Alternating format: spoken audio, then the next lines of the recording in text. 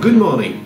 I am Guillaume Delacroix, the Senior Vice President for Performance Minerals, Europe, Middle East and Africa at Imerys. Imerys is a global company, the world leader in industrial minerals. Imerys has turnover of 4.4 billion euro and employs 16,000 people in 2019. As Imerys, we have decided to create a shared service center in Europe to mutualize and professionalize our accounting activities across 14 countries.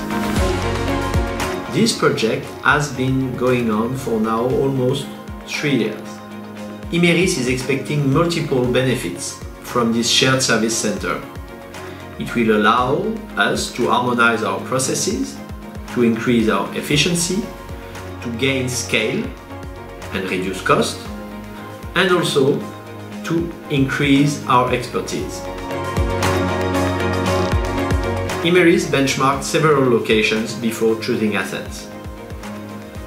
Of course, our company benefits from our already existing large industrial presence in Greece and a good relationship with universities.